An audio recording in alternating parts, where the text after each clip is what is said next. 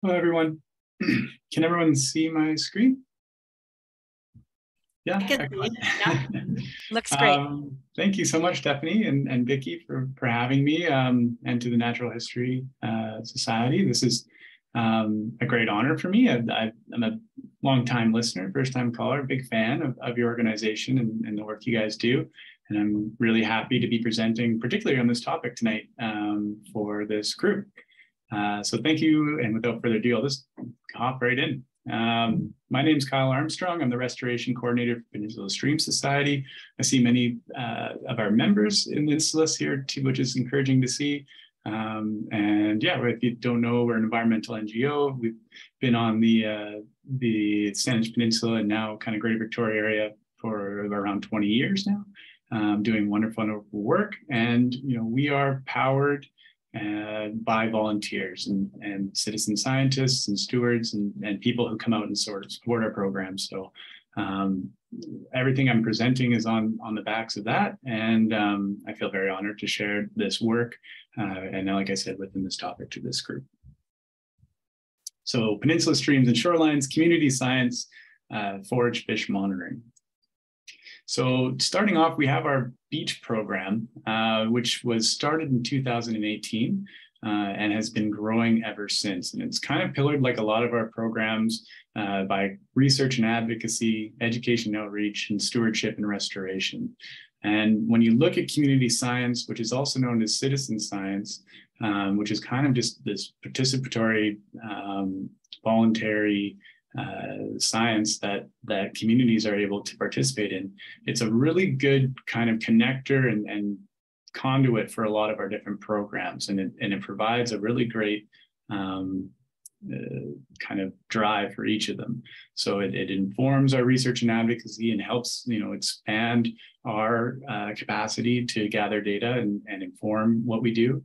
Um, it also is great for getting people outside and doing things and participating uh, as well as providing opportunities for that education and outreach. So it's really, you know, I, never really thought of it in that way until I've made this slide, but it is kind of the central theme that really drives um, our programs, which is which is pretty interesting.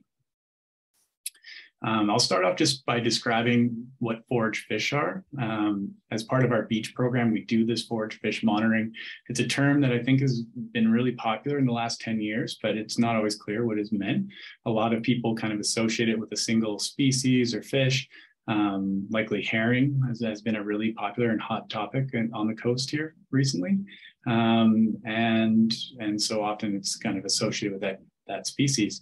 But forage fish are really kind of this trophic level, um, these kind of primary consumers that are secondary consumers that are you know bringing nutrients up and around through the, the marine food webs. And so it could be a one fish during a certain life stage or you know squid or you know different types of amphipods or fish. Some of the kind of big ones around here that when we think of you know forage fish in the Salish Sea um, we kind of have a few that jump out uh, really, really strongly.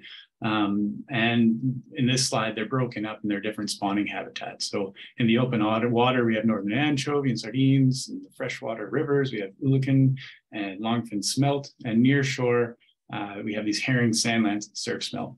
And I should also mention that these are not only ecologically really important species in that they kind of are those conduits within the, the food chains, marine food webs, um, but culturally as well. A lot of these species have a really rich cultural importance um, and uh, are used uh, by lots of different groups on the coast here and were historically and to this day. Um, when we look as kind of terrestrial beings at which forage fish we kind of interact with a lot um, on our daily walks and kind of uh, in our life on the coast, we kind of come across these three, the surf smelt, Pacific sandlance and Pacific herring. And this slide kind of shows their spawning habitat relative to the beach. Uh, the surf smelt occupying kind of those higher, um, almost at mean higher high water lines. Um, a lot of coarser kind of sand beach that you see. and a lot of sea wrack and kind of those big deposits. Sandlance overlaps a little bit, but it's kind of lower down the beach zone and into that sandy area um, and cobble boulder zone. And then herring, which you know often are laying their eggs on a lot of the, the growth, whether it's eelgrass beds or, or algae. Um, here's just a slide kind of highlighting the importance of, of that trophic system within the Salish Sea. On the left is about 450 Pacific sand lance that were taken from a single Chinook salmon. Um, and on the right, about 115 Pacific herring taken from, uh, from a salmon as well. And so these are really important prey items for our local species of salmon, particularly Chinook and coho. Um, and this is being kind of brought to light by or confirmed by the adult salmon diet program in the Lad and, and Will Duguid's research, which should be mentioned is also community science and that local fishermen contribute the salmon stomachs to that research and, and they're able to really delve a lot of different information from those uh, contributions, which is just excellent. Um, herring spawn, you know, it's something that's really showy. And I think, you know, herring are have really been under, as I said, the light, the spotlight lately. Um, you have these big kind of spawning events up and down the coast uh, that have been absent uh, relatively recently um, on our coast and locally here uh, until you know this this past spring we had some really promising uh, sites down by Esquimalt Lagoon and Esquimalt Harbor. Uh, I think that's Fisgard Lighthouse down there. Um, and these photos were taken by um, uh, Yogi from uh, World Fisheries Trust and Jim Shortreed as well, who's doing lots of interesting herring work. Um, so lots of people doing this forage fish uh, monitoring stuff and, and looking after these things. And, and, you know, some promising results and exciting news that kind of comes out from these observations.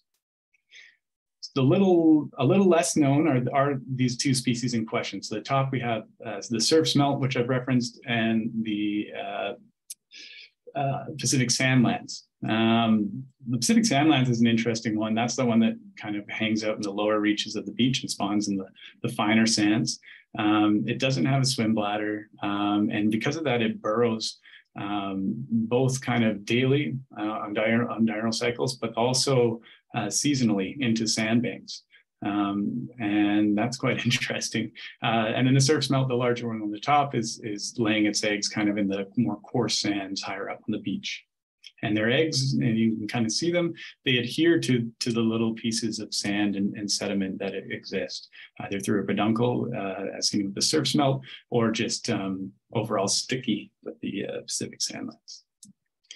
Um, here's those eggs, and they they basically incubate um, you know, kind of similar to salmon. They, they dig uh, little almost reds. I don't know if you call them that, but they dig little holes, burrows, and, and deposit their eggs, and um, and they incubate in those kind of high intertidal areas um, for you know up to two weeks, two three weeks um, in some cases. So they're quite vulnerable there. Um, and so they're really quite delicate uh, in amongst the sand. But um, yeah, they manage just to kind of incubate and they can be exposed as long as they're left moist um, and, and, incubate over time and hatch and emerge and, and hopefully make it out to sea. Uh, talking about threats to this, you know, if you're if you're spawning in that backshore area, there's a lot of different threats that can that can impact you um, pollution climate change uh, disturbance uh, habitat loss. And one of the means of habitat loss is is illustrated here coastal squeeze. Um, the top i couldn't find very good images for coastal squeeze but this is what i came up with. Um, the top image kind of shows a natural shoreline where with kind of sea level rise um, that shoreline's able to retreat and you get this kind of natural movement of, of the different kind of zones. Uh, with coastal squeeze, a barrier has been put in place, whether it's a seawall, a road, or uh, some sort of hard infrastructure, and that retreat is blocked and it basically squeezes out. You can also get squeeze going the other way when sediments are eroded and kind of begin changing the conditions subtidally. Um, and you might get, you know, an eelgrass meadow kind of migrating out to sea and you get squeezed that way. I'm sure our other presenters will illuminate this more. So let's keep going here. Um, here's some photos of some of those disturbances, you know, creosote logs that are releasing things. They, they found that stormwater, toxic stormwater can have impacts on these eggs while they're rearing if there's a source. Um, and again, these armored shorelines that kind of lead to scouring of, of these sediments um, and loss of that, that spawning habitat.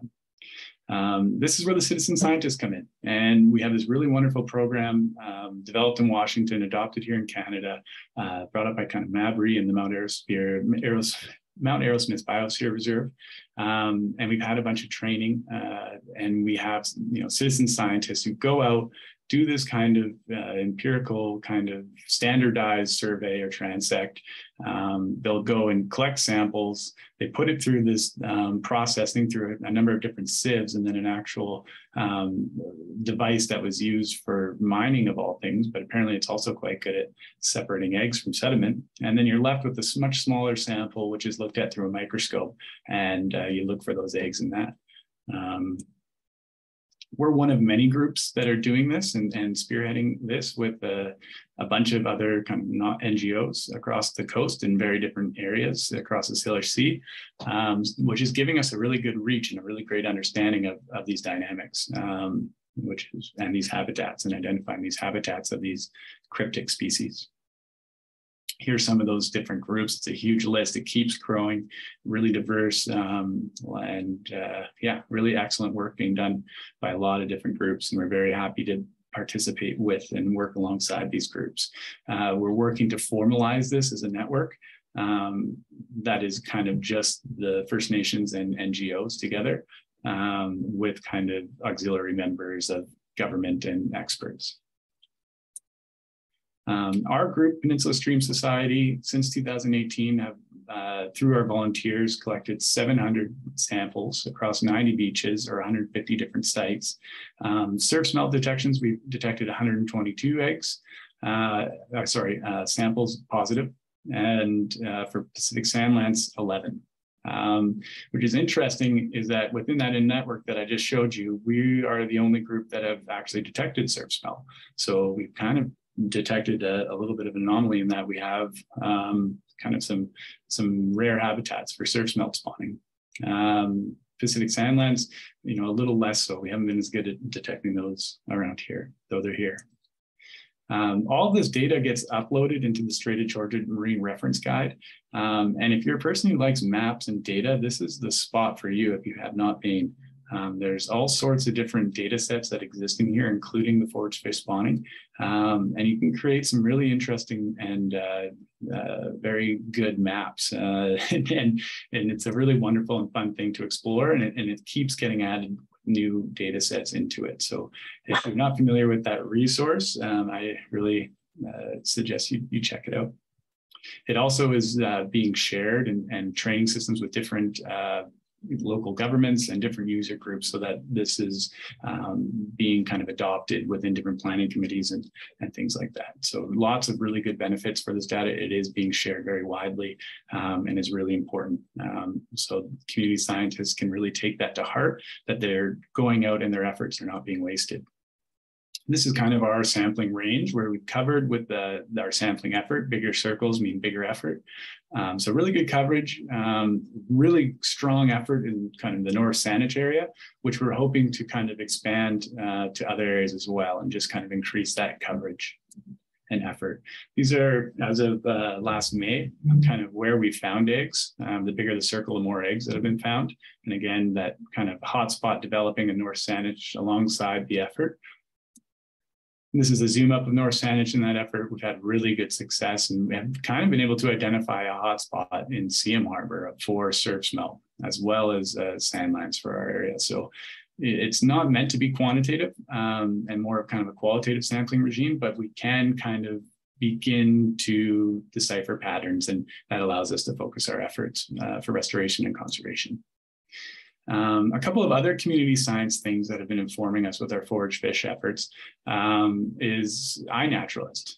And all, all, of you are naturalists. I, I, hope all of you are iNaturalists as well um, and have downloaded this app and, and contribute to it regularly in, in your walks and outings. Um, it's extremely informative. And uh, we've asked, you know, we've put out a call to social media and we'll continue to uh, for different people to let us know when they see these species. Um, in particular, Pacific sandlance, because they burrow in that sand, when they're exposed, you can often find them while you're walking on the beach on a low tide. um, or otherwise, or in, in, certain some of those bigger, sharper tides, uh, we have a low low to a high high in a short period of time.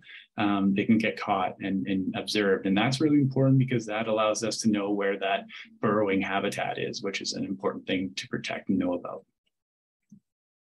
Uh, the other thing we're looking at is eDNA and Hakai and their integrated coastal observatory have these citizen scientists packs where you can basically sample eDNA, um, send it back to them. They analyze it for free and they put it up to their observatory online and you can look at the data. So you can see where there's been positives for different species um, across seasons and months which is extremely helpful. So we've worked with world fisheries trust and sea change to kind of help get that going a little bit more in our area um, we've also been kind of pressuring different groups to, um, or Hakai to adopt a European green crab eDNA so that when we do the sampling, we can detect different invasive species.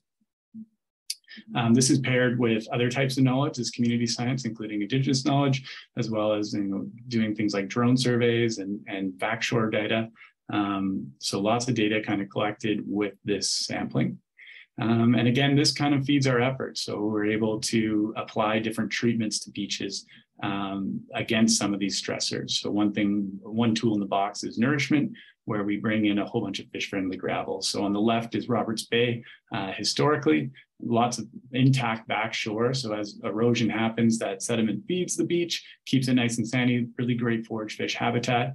Unfortunately, with development and the building of the highway, um, it was all uh, armored with large rock, kind of blocking that erosion um, process and starving the beach of sediment.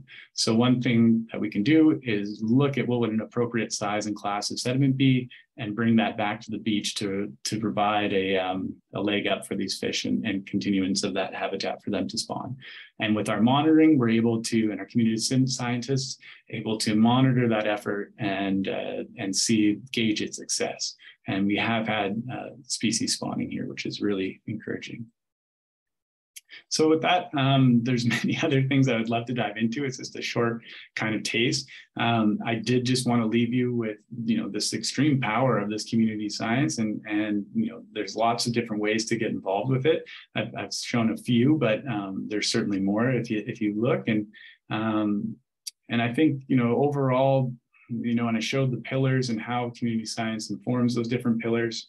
I think the the most important one is that we are having people come down to the beach, getting out um, and you know seeing the beach through the eyes of a forage fish and um, and taking ownership and and and really loving that that place, getting to know that place. Um, and I think that's probably the most powerful thing about citizen science and, and stewardship um, and we get calls all the time from our volunteers about concerns, about developments, about spills, about all of that. And we try our best to address that, but I think you know just having that many eyes and ears on on these places is a really important aspect. Um, and with that, thank you so much for having me and listening. Um, if you're interested in learning more, please go to our website peninsulastreams.ca. Um, there's also a volunteer page there that you can click on if you if you would like to get involved in some of these efforts and programs um, or uh, email us if you prefer speaking to a human being. Francesca's here for the next little while and can and answer your questions. Um, thank you so much. And uh, yeah, I'll leave it at that. Great. Thanks so much, Kyle. Um, if anyone has we we'll take most of the questions at the end, but we've got a bit of time now. If there's anyone who wants to ask um, maybe one or two questions, we could take now. If it's something pretty straightforward. So you're welcome to um, to unmute and ask Kyle a question, or um, I can also monitor the chat. So as people are speaking, please feel free to put any questions you may have in the chat, and we can look at them afterwards.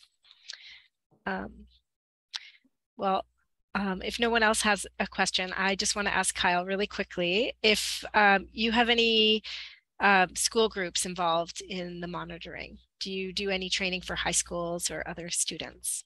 Yeah, absolutely. And um, lots of different schools across across the peninsula and Greater Victoria um, will train the classes and bring them out. Um, those ones we don't get a lot of return candidates on um, you know sometimes a student will, will take interest um, so it's it's that's definitely more of an education piece and I think it is a really great activity to to run people through. Um, and I should mention we're hiring a new coordinator of the program. We've had two really excellent uh, coordinators in the past, Brian Koval and uh, Carmen Pavlov. Both did a really wonderful job uh, coordinating this effort. And we're amidst hiring a new coordinator. So if you know of anyone, please tell them to apply. Um, and that person, you know, will be really growing these these different aspects of the program and uh, be going to the different schools and, and educating the kids. It's a lot of fun. Sounds great. And yeah, th so this isn't so much a question, Kyle, but I, one of my most memorable experiences down on Island View Beach at a low tide was watching a crow seemingly digging for nothing, right? Like it was just on the beach, dig, dig, dig, got down about four inches and pulled out a sand lance. And that was pretty awesome that it knew it was under there and was working very hard to get to it. Well, that's wild. Again, which beach was that? Island View Beach. Oh, wow. I, I literally saw the same thing two weeks ago at, um, what's it called now? Finnerty Beach out by Cadboro Bay. Um, crows picking sand lance out of the sand there. So the first thing I did was iNaturalist it and write a little note. And, um, so that, yeah, that's wonderful, wonderful to know and, and an interesting phenomenon. I wonder what the tide was doing that day. It was a low tide. Um, low tide. Yeah. I was quite, quite far out on the beach, as I recall. Um, looking for birds, no doubt. But uh, but yeah, this crow just was very persistent until it finally got the fish. Wow. Yeah, and just an incredibly important part of so many different species diets. So um thanks for that story, Anne. And I'm going to pass it off to Cheryl and Tim for another question. And I see there's some things in the chat, and um, I think we'll hold those until um, after all the presentations there. Yeah, I just had a quick question on uh, as to the time of the year that the uh, smelt are doing their thing. Yeah, it's a great question. They they um, around here they spawn year round, but um, you know we see a real spike in between. Uh, well, the main season here is kind of October to about March, uh, right. April, um, with kind of a little window on either side but they we have had spawning uh, detections in the summertime here, um, particularly around Tryon Beach and, and North Saanich, some of our more productive beaches that we found. We, we can detect them in the summer, which is a really important uh, thing to consider. It's just there's a lot like the heat um, in the summertime and um, some of the, the a, a, lot more people kind of transiting the beaches at those times. So I think you know finding those summertime spawning beaches is going to be a really important challenge and um, and protecting the back shore because having that back shore protection for those summer spawning time beaches is is incredibly key. Great, thank you. Great, thanks. Okay, um, so Kyle, um, you're welcome to answer questions in the chat, but I will say it out loud for everybody after after all the presentations. But just in case people don't check the chat, um, I'll I'll read them out. Um, but in the meantime, um, I'm happy to introduce our next speaker, who is Remi Torrenta, who's a wildlife biologist and British Columbia projects coordinator at Birds Canada. So after getting his PhD in forest bird ecology in Eastern Canada, Remi worked as a field biologist, naturalist guide, and research scientist before moving to the West Coast. Remi uh, has been involved in avian research for the past 10 years, is passionate about understanding the effects of human disturbances on populations to set conservation planning targets. Remi has a strong conviction that conservation goals are better achieved through education and citizen science programs. Okay, I'll pass it over to you, Remi. Thank you. Um, I'll show my screen.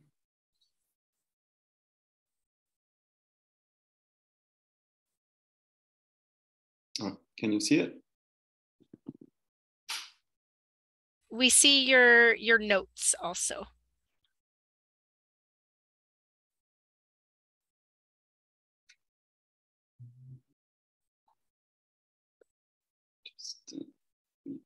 that.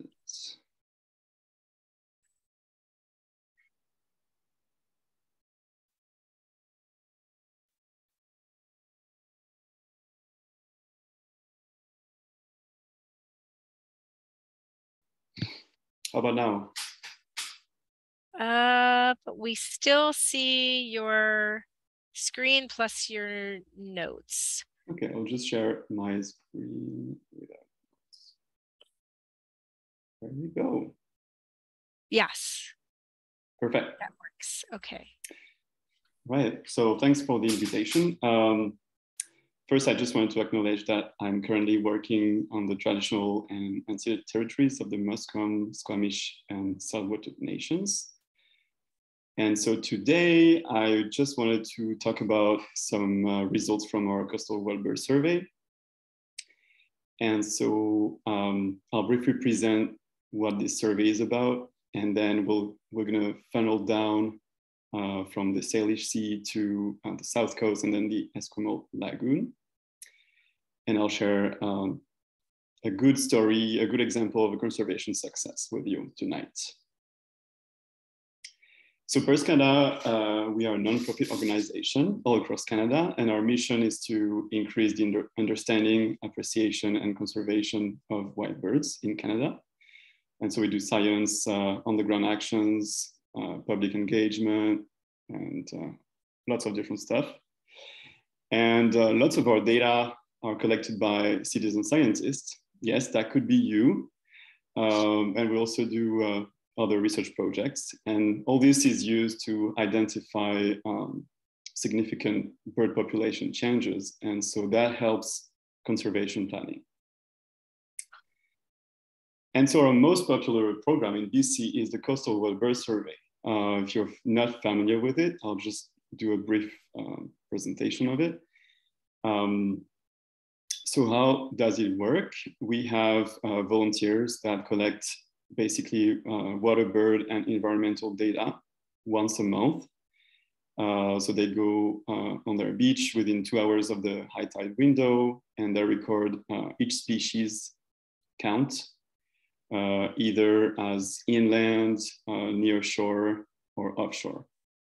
And they only count birds that use, that actually use the habitat. So for example, the, the birds that are flying through the area are not counted. And they also record other uh, data like uh, weather, disturbance, etc. Um, so I just wanted to show you um, a study we published uh, two years ago. Um, so it's about 20-year uh, trend results of our uh, program. And so that uses uh, 326 survey sites. Here on the map, I just show you the Salish Sea sites. So you can see there are a couple here on the south coast. And um, that uses 50 different species. So different groups surveyed, gulls, ducks, herons, shorebirds, and uh, all the birds that basically use uh, the, either the rocky areas or exposed mudflats, for example. And for the analysis, we differentiated different groups uh, to see if there is any trend. And so we used the migration strategy. So we have birds that uh, are local residents all year long. We have birds like most uh, grebes and ducks that uh, breed in the interior BC and they're only here during the winter. And you have the long, long distance migrants that use the Arctic and boreal regions, for example, uh, some shorebirds. Um, and we also use the diet. Uh, so we have birds that fish, uh, birds that prey on the seafloor, uh, herbivores, and omnivores. And here, I just wanted to uh, show you the results of the 20-year trends. And so, as you can see on this graph, you can see the different groups. And here is the trend for the different groups. In orange, you have um, the birds in the Salish Sea sites, and in yellow, the birds in the outer coast, so not in the Salish Sea. So as you can see on this graph, um, there is a negative trend in the Salish Sea for all the migration strategies, uh, and pretty much the same thing for all the diet strategies, except herbivores. And for the outer coast, uh, as you can see, there are many birds that are actually increasing. Um, so there is a general decline in the Salish overall. Um, and the strongest difference is between the Salish uh, between the Salish and the outer coast is for the bird's-eyed fish. So that indicates that there is something with the, the fish resources that um, you know, ex can explain these differences between the Sea and the coast. And so overall, uh, what we found with these 20-year trends is that the, the regional trend is stronger than the migration strategy or diet. So there's really a different a difference, uh, and there's something happening in the Sea that explains all those declines. If I look at uh, specific species, um, I just wanted to show you some, some interesting graphs. So here, for example, is an example of a bird that, that the bufflehead that showed uh, stable trends overall. But in the Salish Sea, um, out of the 50 species, 12 of them uh, were declining, two were increasing, and 36 were stable. Uh, for interesting stable trends, here I just wanted to show you uh, five species that showed uh, declines in the past, but they are now uh, either stable or increasing. So for example, uh, the great blue heron, that is um, of special concern in BC, uh, is increasing again. Um, the red-throated loon uh, is now stable, the surf bird. And either, you know, the glaucous, the glaucous winged gulls, they now, um, they seem to show some decline, but they're overall stable over the past 20 years. For negative trends, uh, here are the 12 species that are declining, and half of them are benthivores. So basically species that eat um, invertebrates on the seafloor. Uh, so all the scoter species, for example, uh, were declining, and also uh, two shorebirds that eat benthic invertebrates, the dunlin uh, on beaches and the turnstone here uh, on rocky habitat. So all this benthivore declining indicates that something is really happening in the benthic environment that is disrupting birds or preventing them from using the Salish Sea as a, as a wintering habitat. And we also observed uh, declines in several top um, piscivores as well. But I just wanted to also tell you that it's important to, rem to remember that um, those declines that we observed do not necessarily mean that the entire species are declining, but it could just mean that um, there are shifts in the areas that populations are, are using. So it's important to keep that in mind. Uh, here, so just uh, some graphs for these declines. Um, I just want to flag the Dunlin here. Uh, because about 20% of the Pacific dunlin population winters in BC. And so these declines represent an important you know, red flag for managers uh, in the Salish Sea.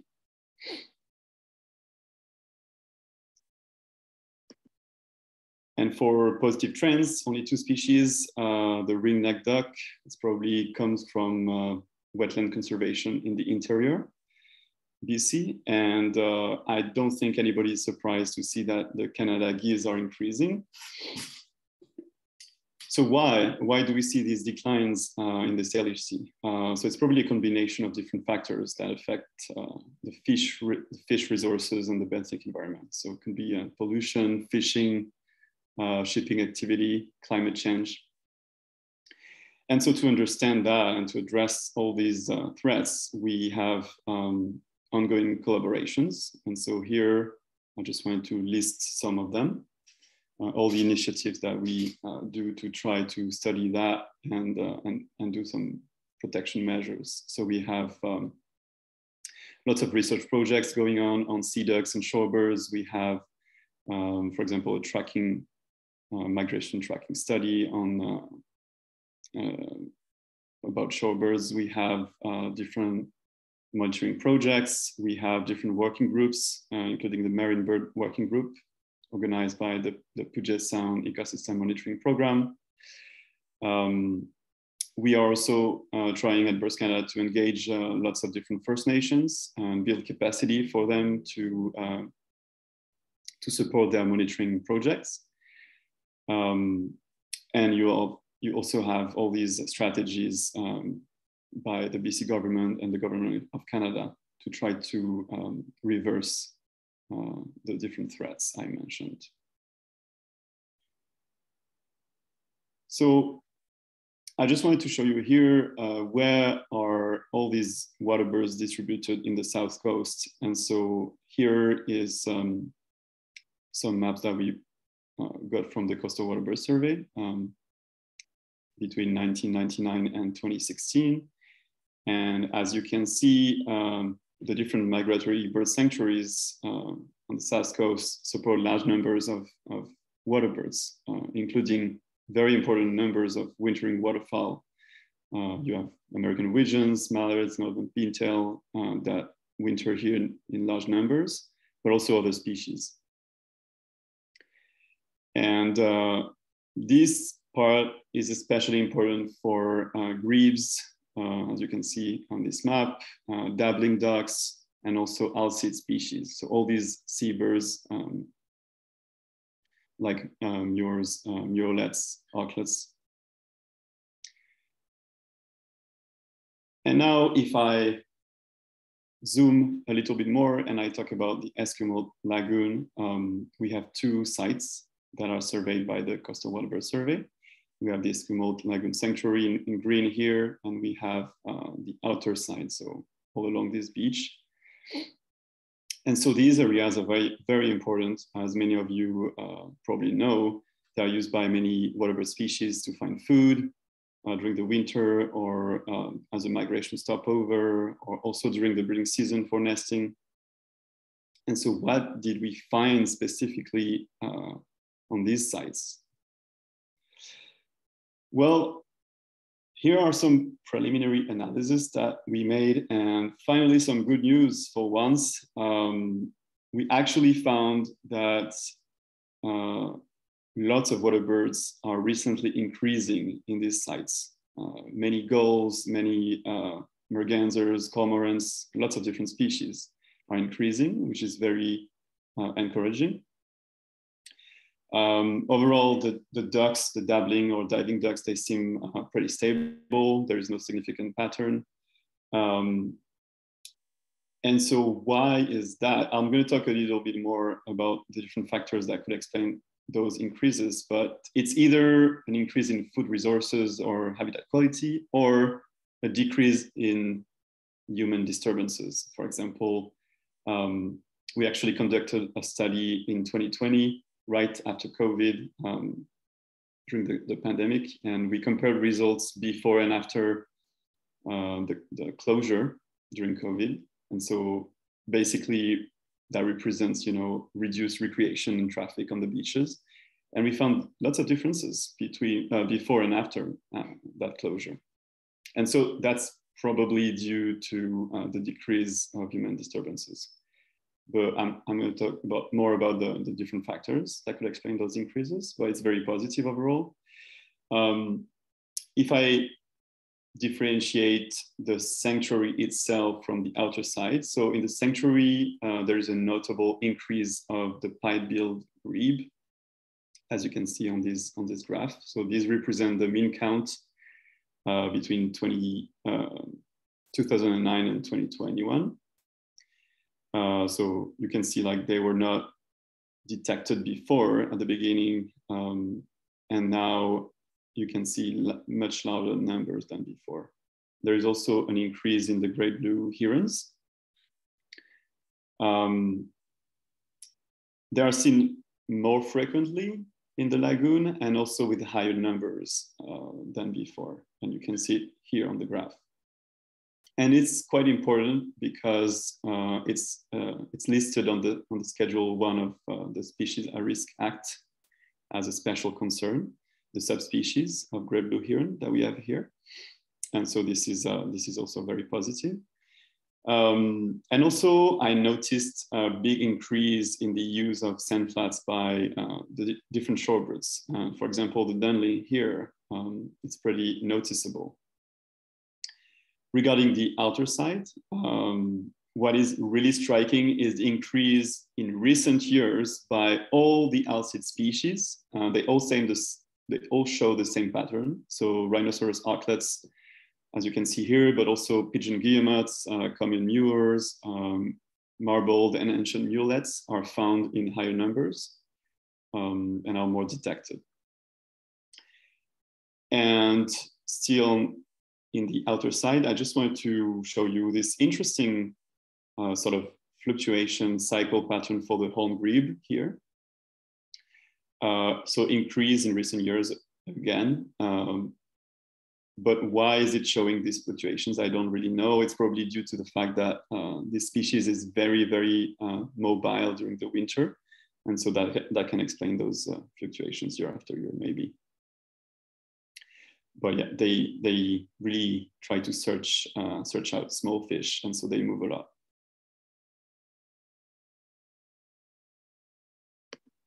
So yeah, some good news. Uh, is it an, a good example of conservation success? Uh, how can we explain those uh, those trends? And so I talked a little bit uh, with different people, and I, I tried to dig dig out um, on reports and different papers. And so those increases are likely the result of uh, reduced disturbances and also local conservation actions in the sanctuary.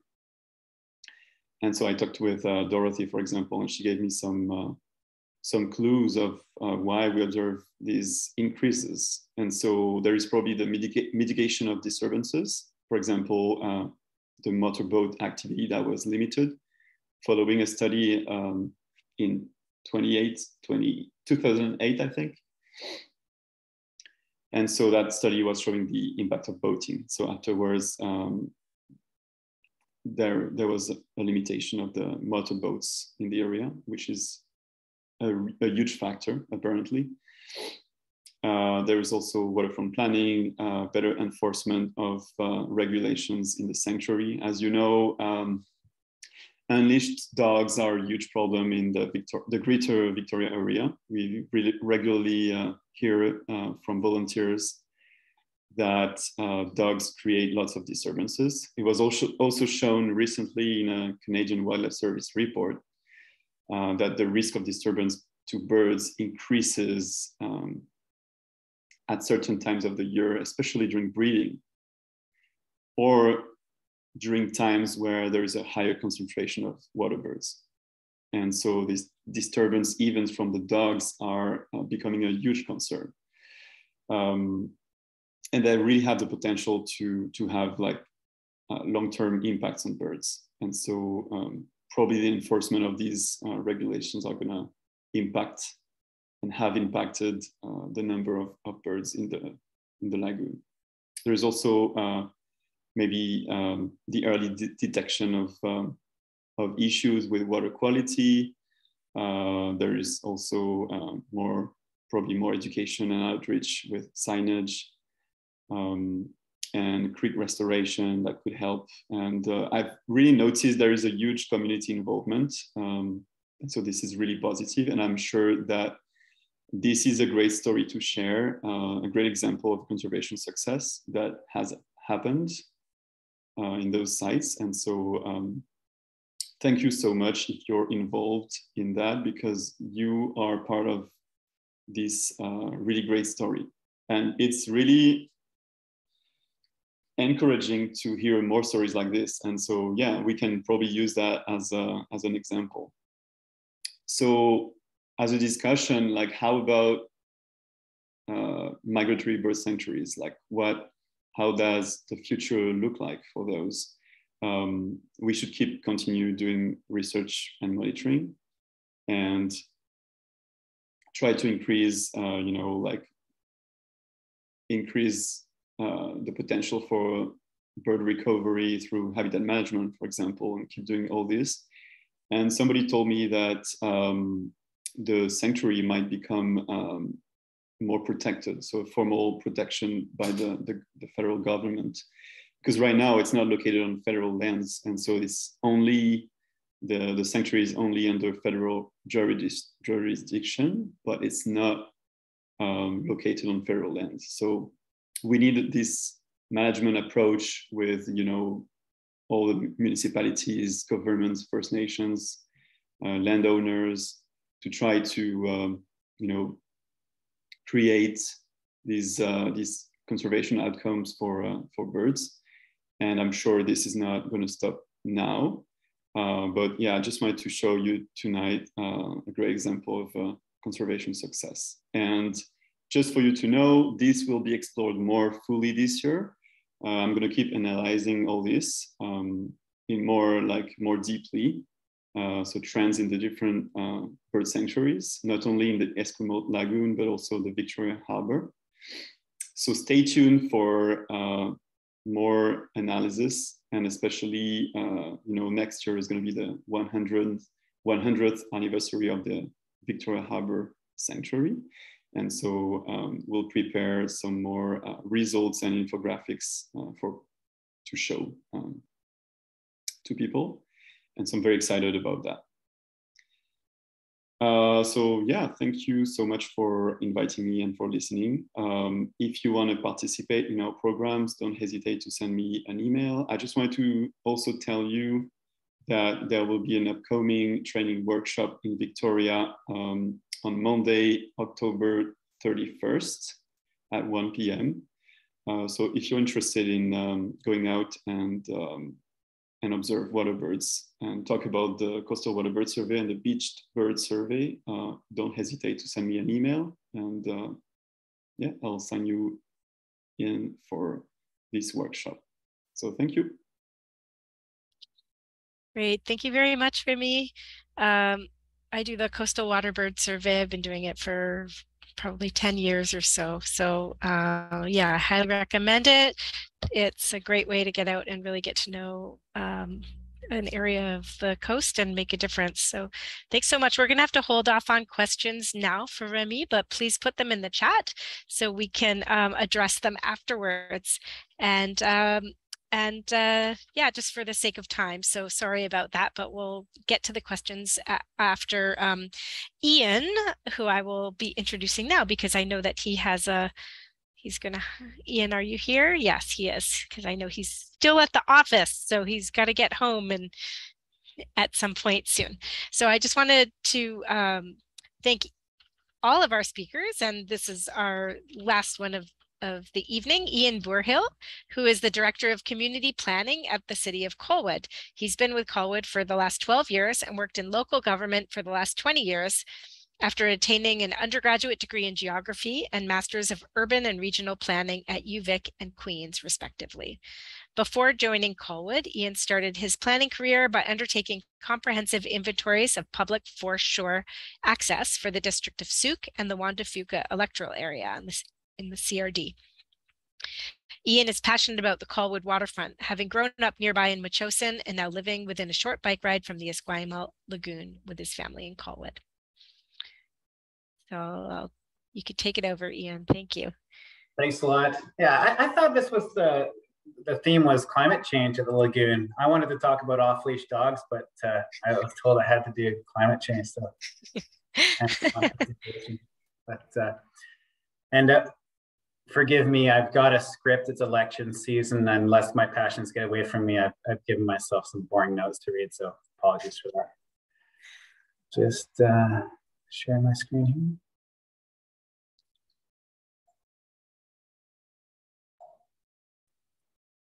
Okay, can everyone see that?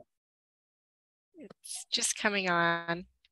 It's not, I just see black for, for now. Yes, and you're welcome to talk about dogs too. yep, it, it, looks good. Looks great. Okay, okay. so uh, tonight I'm going to be talking about uh, Colwood's uh, draft waterfront stewardship plan and how it's proposing to address the impacts of climate change uh, in our area. This project has been ongoing since the beginning of 2021 and has included an interdisciplinary team of landscape architects, planners, biologists, coastal geomorphologists, architects, archaeologists, and last but not least, civil engineers. Leading the consulting team was Paul de Greef, who before his current appointment to the District of Saanich, spearheaded this initiative over the course of 2021. I understand that Paul is here in the Zoom room tonight and uh, is available to help me with questions later.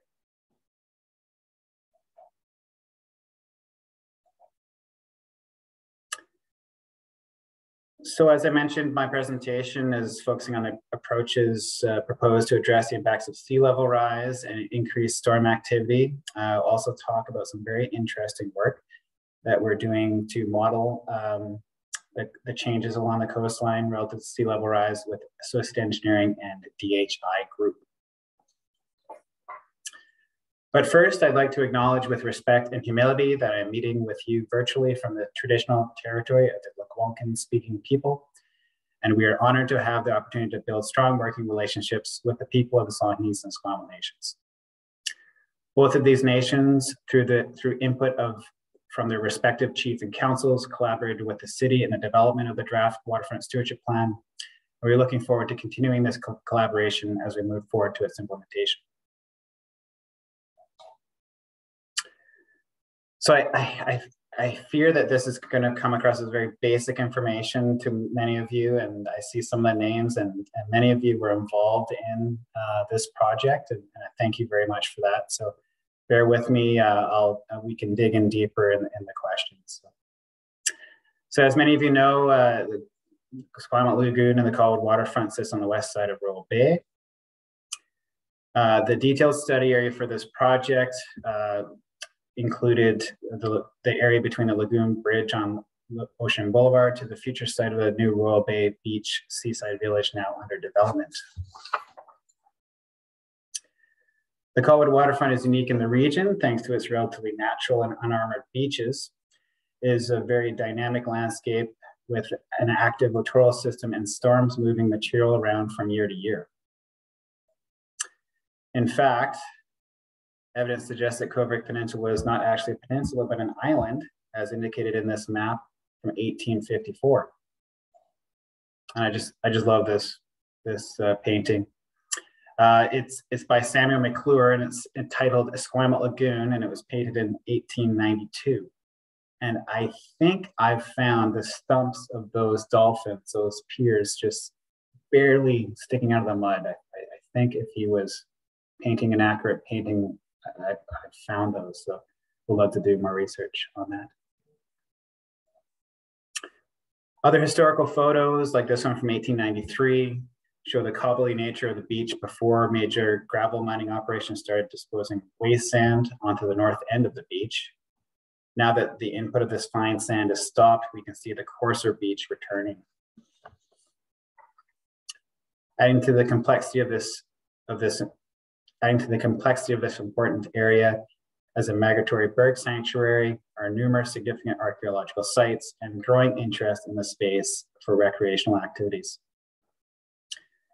Demographic projections state that Colwood's population could increase from approximately 20,000 today to 30,000 in the next 20 years. The draft plan is therefore centered around a comprehensive set of planning actions including a proposal to review our off-leash dog uh, regulations, and a 10-year capital plan designed to accommodate visitors in a way that better protect natural habitat and archaeological sites. The plan's most significant proposed improvement is a multi-use pathway that would consolidate trails onto a four meter wide route integrated with physically protected ecosystem res restoration areas. This pathway would connect the future urban waterfront of the Royal Beach development and the former gravel pit to Lagoon Bridge and the potential future entrance of a new national urban park proposed by Parks Canada to be centered around Fort Rodd Hill Natural Historic Site. Other proposed improvements include enhancements to the parkland at the west end of Esquimalt Lagoon, featuring a natural playground and outdoor meeting space. So all of these proposed interventions have been conceived to be resilient to sea level rise and increased storm activity that is expected to continue as we struggle to limit our greenhouse gas emissions and resulting climate impacts. Examples of what we are calling inbuilt resilience include an elevated section of the pathway, raised where required to prevent damage from storm surges. Secondly, the use of materials that are easy to repair or replace if damaged by floodwaters. And thirdly, significant ecosystem restorations that will improve habitats while mitigating the risks associated with increased frequency and intensity of storms.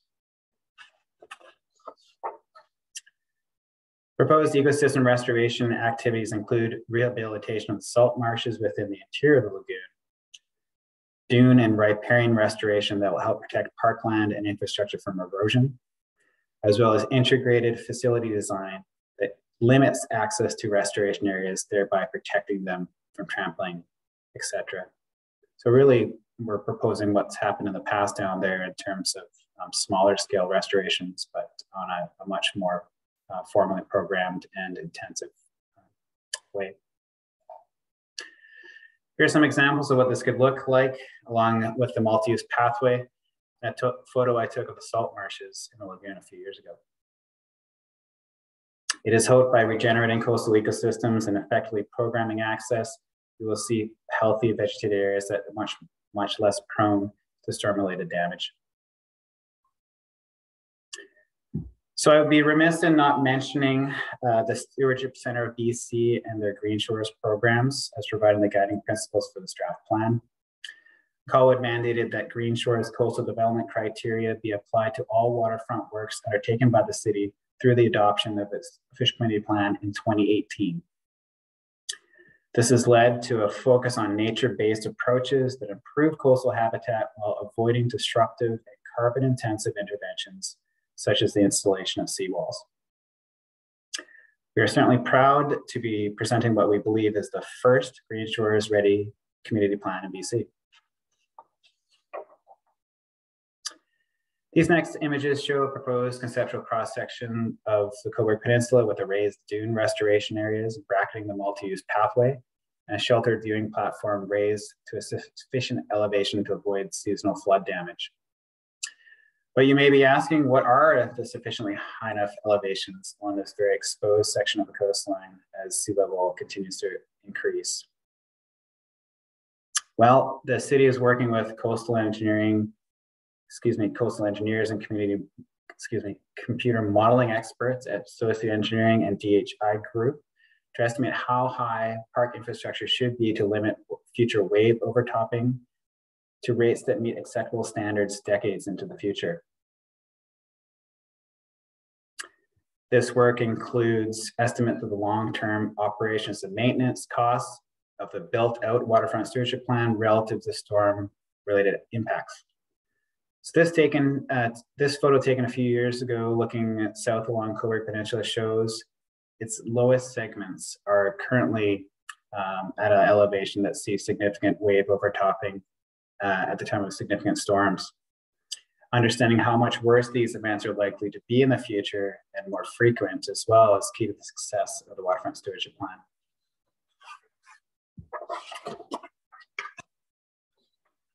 Work, uh, work coordinated through the city's waterfront coastal process committee to look at various options and the experiences of other places dealing with similar issues is also informing our approach. This is an image of Queensland, Queensland Beach in Nova Scotia that has a similar barrier spit formation as Coburg Peninsula.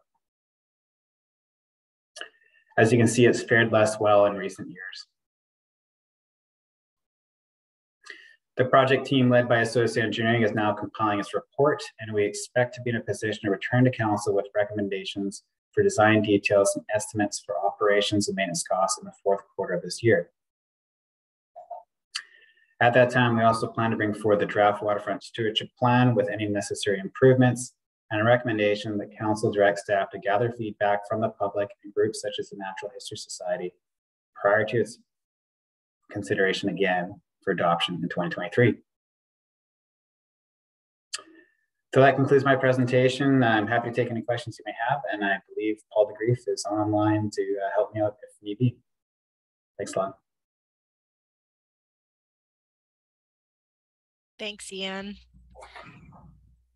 Um, so why don't we start with some questions for Ian, um, and then we can work back to the other speakers as well.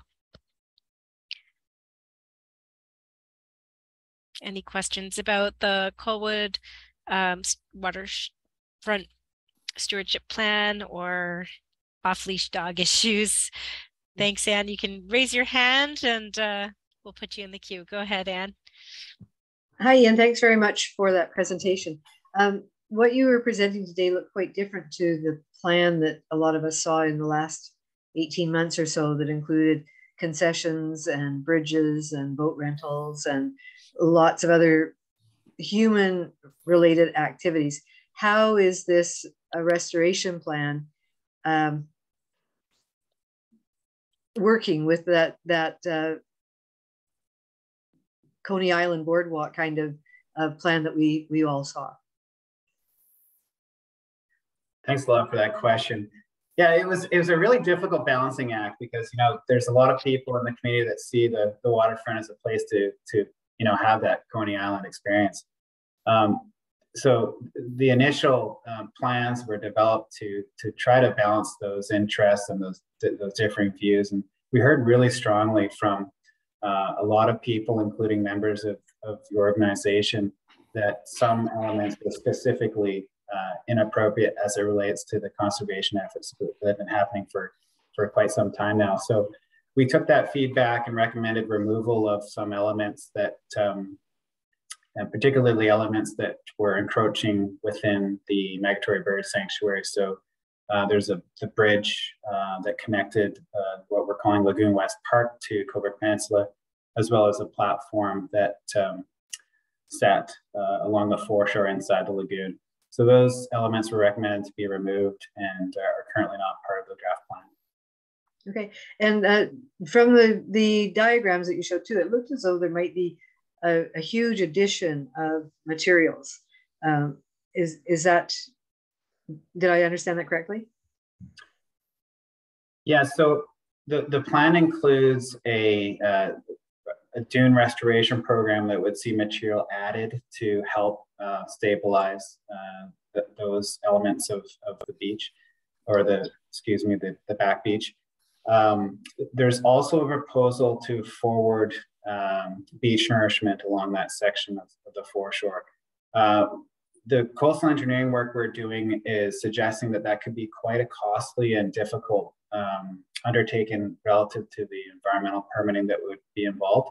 And so we're now looking at um, instead of uh, going down the path of detailed design for beach nourishment to look at the existing uh, elevations of Coburg Peninsula and to what extent they would allow for um, reasonable use uh, in the future and whether we can add to those upper land areas and through um, dune restoration um, build up an elevation that will be resilient uh, for a reasonable amount of time into the future. So uh, just I'll just finish up by saying I was on the original ELSI committee back in around 2000, and one of the predictions was made that when when they stopped pumping gravel out of the pits, that we would see degradation of the um, the tip of the Coburg Peninsula, and that certainly has happened. Right, that that a lot of the um, the material that washed up on that beach was things that dropped off during loading and loading of the uh, the gravel barges. Uh, it, is there any prospect of that peninsula actually not shrinking when there's no new gravel coming in on a regular basis? So I should preface this by saying I'm not a coastal engineer. I'm uh, I'm depending on the advice of, of, my colleagues and, and the folks that we've we've brought onto the team. Uh, but if you go down, this is really interesting. I was walking the beach with our coastal engineers in the summer as they're they're kicking off this latest phase of work, and they were talking about the nature of the beach down towards where the the old gravel pier used to be and, and where they used to do the loading. You'll notice there that the beach is much more cobbly at, at that end. And I we talked about that, and they explained, well, it's like you turned off a tap. And so the tap got turned off, and that big mass of sand is moving down along the littoral current. And so you're getting to see a little bit of the future down towards the um, gravel pit end uh, in terms of what the foreshore is looking like. And we're likely seeing a much coarser beach as we move into the future as that material continues to move with the current towards Fisgard Lighthouse. Um, they feel that the, um, the landform is relatively stable now, but with uh, sea level rise, we could be seeing a significant retreat. Um, so that's why we're looking at um, refining our understanding of, of, of, the sea level rise projections and how they're going to uh, impact things along the foreshore and whether we can uh, address them through a, um, a nature-based solution as we proposed. Great, thank you.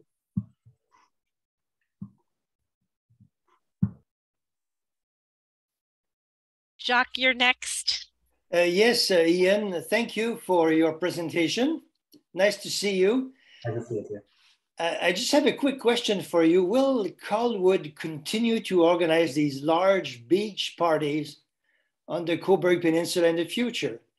It seems somewhat incompatible with what you showed us a minute ago. Is this going to stop at one point? Well, the, the draft waterfront stewardship plan is proposing that we uh, transition those events away from Esquimalt Lagoon and Coburg Peninsula. Uh, there's hopefully opportunities in other areas of the community, such as Royal Bay and Royal Beach, that will be more appropriate for those type of events. And um, I can certainly say it's input through folks like yourself that helped us um, make those recommendations in the draft strategy. Thank you, Iain. Have a good evening. You too. Okay, uh, Lisa, you're up next. Oh, and uh, it looks like Kyle has to run. So thank you so much, Kyle, for um, for for your participation and your wonderful presentation. And I think we'll open up the floor to questions for for uh, Remi as well. And um, and yeah, um, and thanks everybody for coming if anyone has to leave. And uh, if there's any remaining questions, you also um, remember that this was recorded. And so everyone's um, emails and everything are, um, the presentations will be up on our YouTube channel. And uh, you can also connect with people directly. So thanks again, Kyle, for joining. And I'll pass the questions back over to Lisa now. Hi. Oh, so. Okay. Um, it's a question for Iain about the off-leash dogs and about the on-leash dogs. I go to this one I'm about twice a month. I do a lot of photography at this photos there. I always see off-leash dogs. I noticed there's only one very small sign, very small. And even the um, on-leash dogs seem to have an effect um, in terms of their disturbance as they bark and lunge, that sort of thing. So is there any plan at all to like increase signage, increase some sort of patrolling? Because um, I've seen like a lot of problems. I've been going to this federal for about the last two years, uh, maybe about twice and I see a lot of problems. So I'm concerned about that, and I'd like to know what, what. Yeah, thanks a lot for that question. Um, as I as I mentioned uh, quickly in my presentation, there is a recommendation in the draft waterfront stewardship plan to review our regulations as it relates to uh, leashing of dogs and uh, controlling of animals in the community. The the challenge, uh, you know, certainly more signage would, would likely help. Uh, we've been working with Canadian Wildlife Service to install um, signage that indicates um, some of the re regulatory requirements and information associated specifically with the migratory bird sanctuary. We've got all the signs except for one big four by eight sign that we're hoping to install on the, the washroom building down there. Um, that being said, we have a situation where the off-leash area is designated by a bylaw that has a line down the, the foreshore. So it makes it difficult in, for enforcement when um, it's uncertain as to where the dog is relative to that line. And that's one of the opportunities, I think, in improving um, the reg regulatory uh, approach in that area. Um, so that's one thing we're certainly keen to, to uh, advance uh, if and when uh, the draft waterfront stewardship plan uh, is adopted.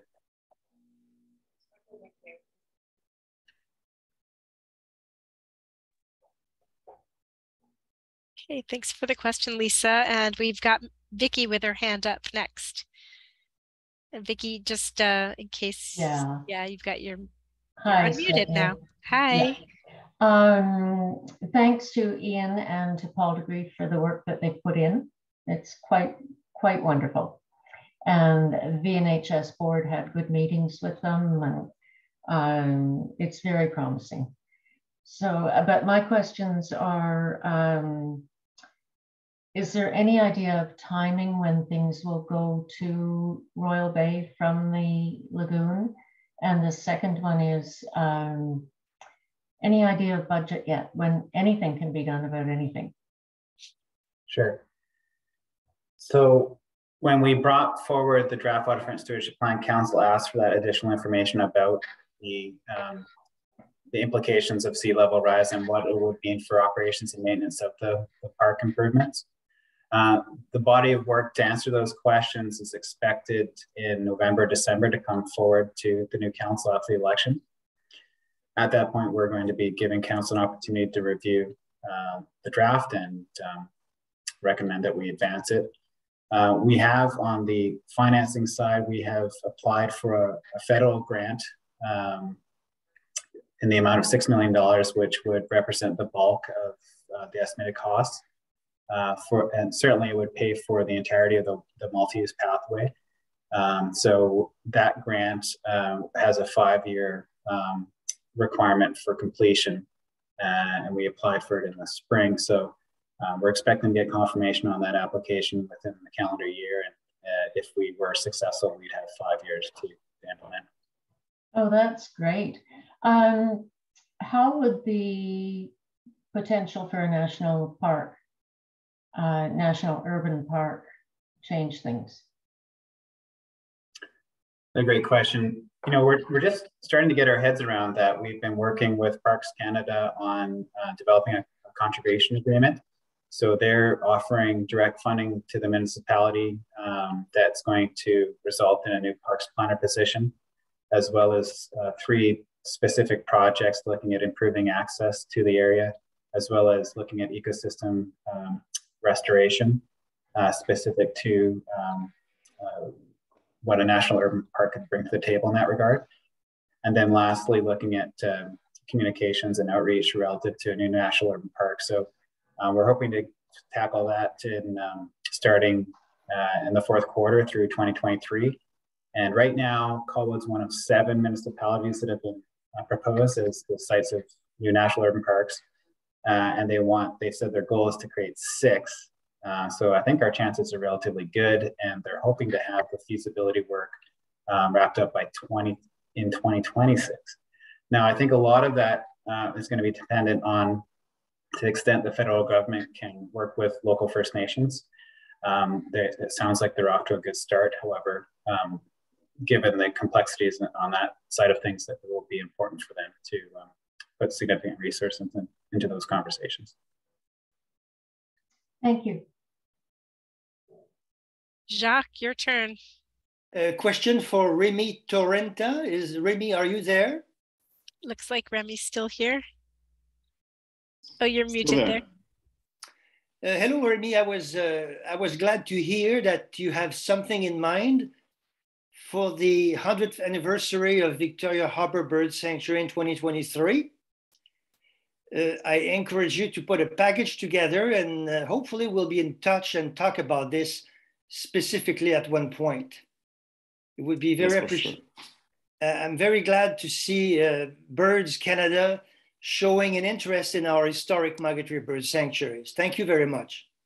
Yeah, no, no worries. I think this work is very important. And um, yeah, what, we, what we've seen um, in the Esquimalt Lagoon, um, to answer the lots of questions in the chat um, that might be related to the observer, but I don't think it's a huge factor in play in that case because, you know, even if you look at species that are really well detected, like the, the heron, for example, like the, there, there is a striking increase and there is a striking increase for a lot of species. And um, there is something happening there, something uh, that is not necessarily related to the, the observer. But I'll investigate everything further and uh, we'll communicate our results and uh, especially for the 100th anniversary. Thank you, Amy. Merci.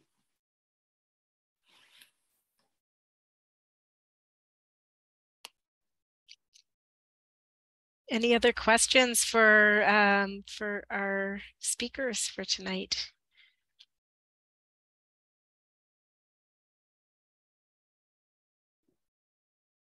Thank you, Stephanie, and to our speakers. This was really good. Yeah, it was great. And thank you, Vicki, for organizing it and for all of you for coming. And uh, it was a, it was great, all the complementary um, studies and how everyone's working together. Um, I really appreciated seeing the variety um, and how it all fits together in thinking about the future of this place.